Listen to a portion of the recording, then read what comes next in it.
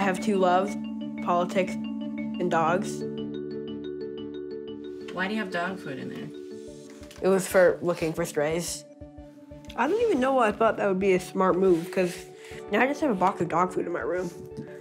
I've I've since uh, decided to focus more on my gubernatorial campaign and less on uh, finding stray dogs. I'm Ethan Sonneborn. I'm 13 years old. I like dogs, basketball, and fishing. I'm also running for governor of Vermont. To everyone here today and all across our country, know this. We are America's future.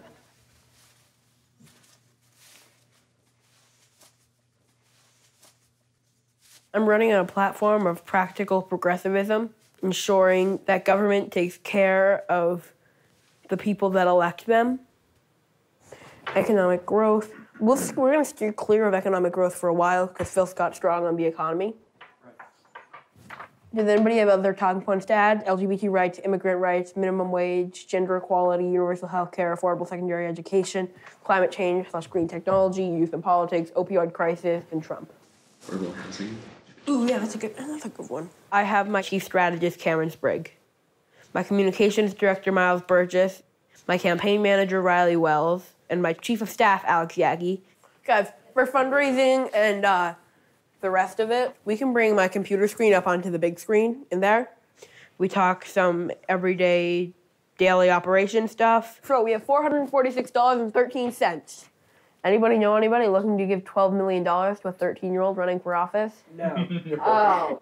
And then we talk about some bigger picture stuff, like how we're going to message our vision. A- Alex, Where do you stand on the border wall? Absolutely opposed. America has always been the shining city on the hill. We need to welcome immigrants because no matter the color of your skin, you are an American. Miles. What is your plan to get youth more involved into political activity? Um, what we really need to do is engage the next generation. We need to say that it's your future too, and you need to fight for it. Right? Because this planet, it's having chemicals are being pumped into our air by six year old white men. What? it sounds like I said six. I meant to say 60, but I realized that I. That, Six-year-old white man. Like I'm like growing I had no idea. 60! Well, I think what I worry about is different than what most 13 year olds worry about. I worry about homework. I think a lot about how the uh, Red Sox are doing. But really, what I'm worried about is the future of our country. Uh, I'm vetting congressional candidates who I think would be strong running for office. One and a quarter cup. Never really been engaged in that political process and hasn't had a lot of interest for me. I've never voted, so holds less interest to me than I think it does to you. Maybe that's part of why I think he's interested because maybe he uh, thinks more should be done. It's probably right. Ethan, is it? Is that true? Yes. Politics affects everybody, and that means, in theory, everybody should be engaged in politics.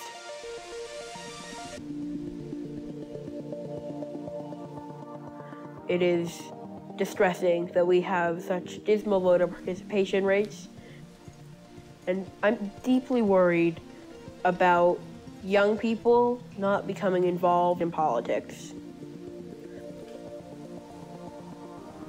there's this stigma that's been perpetuated that young means inexperienced and young means incompetent. There's this don't grow up too fast idea, and it's not growing up too fast to say, I'm not an adult yet, but when I am, I'll be ready and I'll be informed and I'll be a smart voter.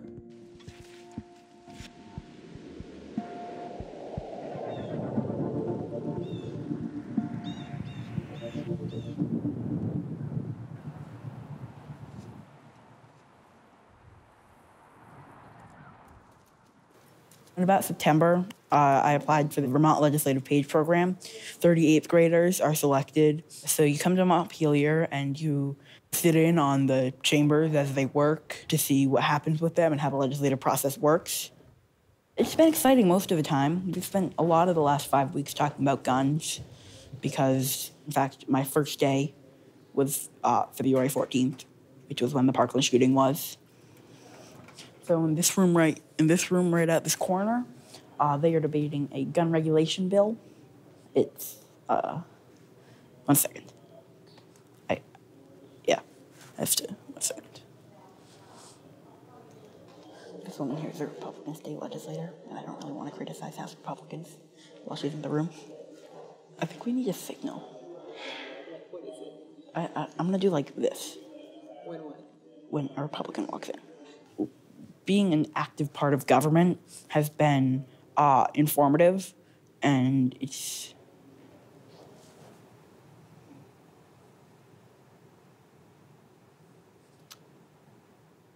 tensions are running high. Uh, there are a lot of second amendment advocates and gun regulation advocates uh, in the audience. Tomorrow, right outside, there's going to be the Montpelier March for Our Lives, call for common sense gun regulations. I look forward to meeting people who are like minded. The next thing I want you to do, whether you're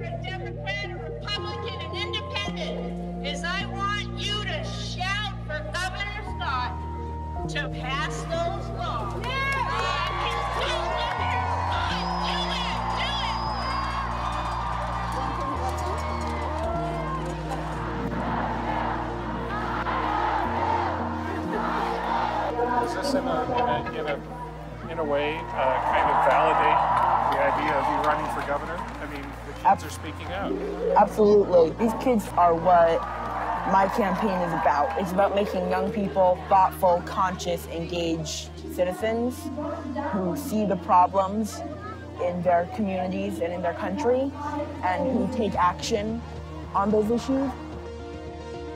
The campaign's been going well. We made some solid connections. We've raised some money. We've gone to events throughout the state. Good luck. Yeah, thank you. I am. Are you learning a lot? Uh-huh. You're the smartest one in the race. There is a new candidate. Uh, Christine Hallquist. She, she is running against me in the primary. I think she has a real shot. But I think I have a real shot, and I think James Ehlers has a real shot.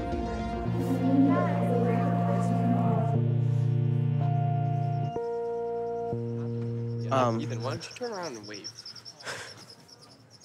Hi.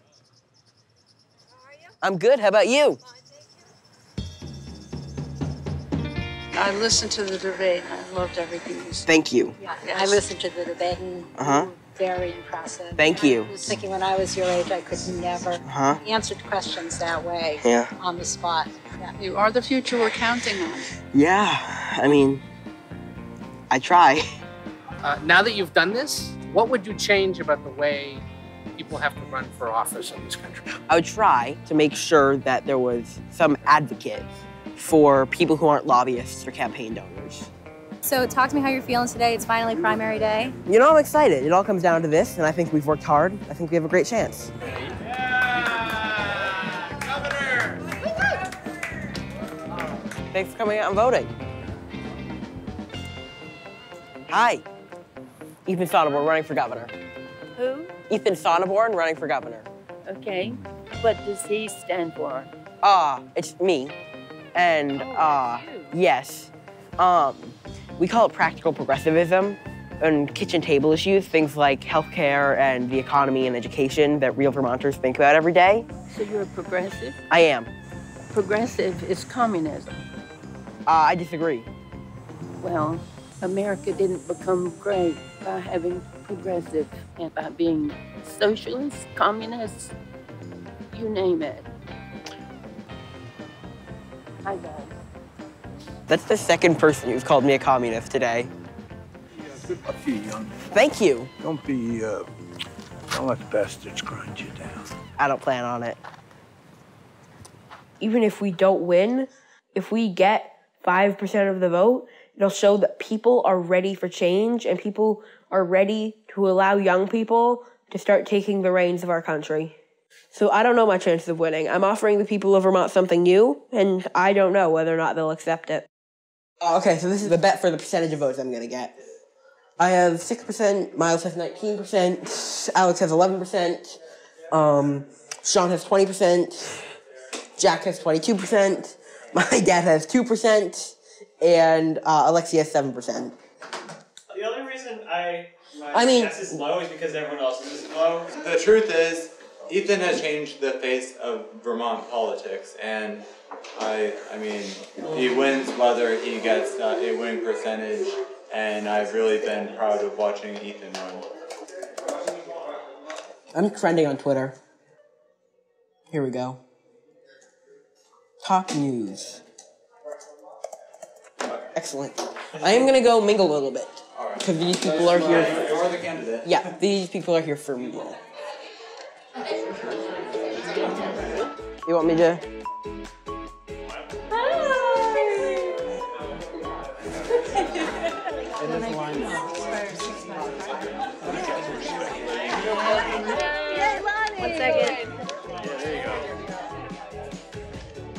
What What are you thinking about for the future of your political career? You know, I want to stay involved. I want to make sure that we elect leaders who are working to uh, make life better for ordinary Vermonters and ordinary Americans. I have a lot of plans about engaging the youth. Uh-huh. and, Like I really want you Uh-huh. to be a huge part of that Yeah. with us. So, and just get them on the bench and get them involved Right, get 'em and, used and to it. get them used to Yeah. campaigning and moving up the thing. People who vote early keep voting. Exactly. I voted for my own son, who was uh, was a little crazy for the first time to vote to be for my own son.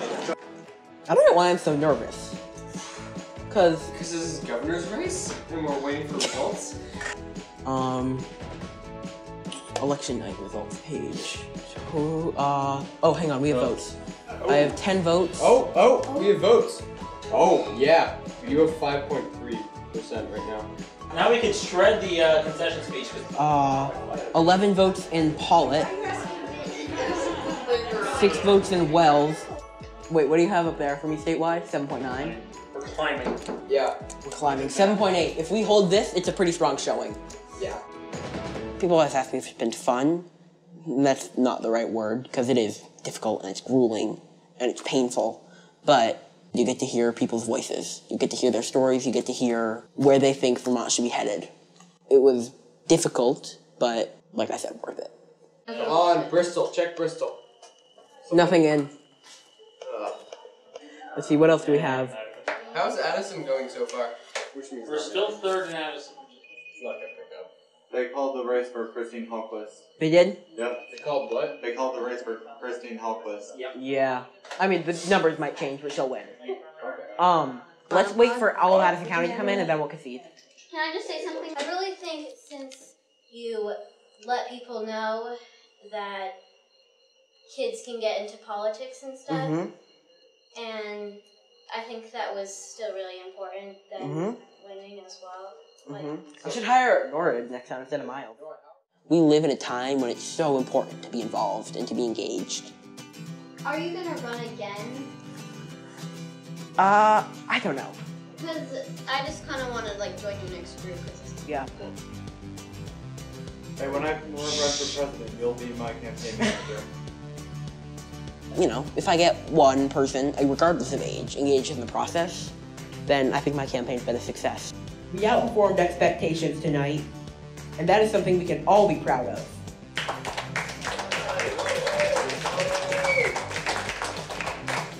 Our campaign may not have won, but our message did. We have to understand you cannot give up on our process. You have to stay involved. Thank you.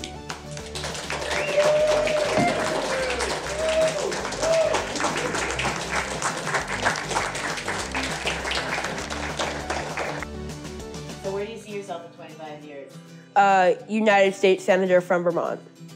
What about the White House? I'm not committing to running for president yet. I've got time.